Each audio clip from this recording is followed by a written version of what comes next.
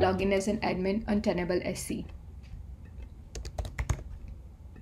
With the release of SC 5.10.0, you now have the ability to add API keys for Nessus managers and Tenable IO scanners.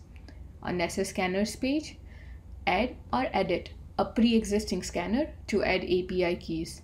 Please note that API keys will be used only for agent scans. Toggle on the API keys button and to add the API keys.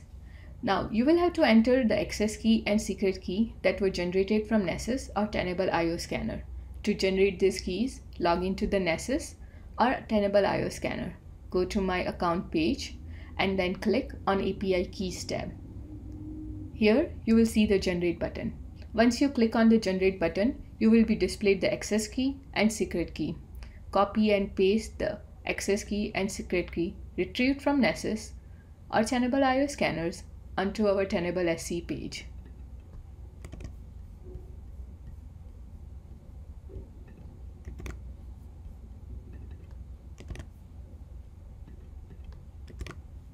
Click on Submit.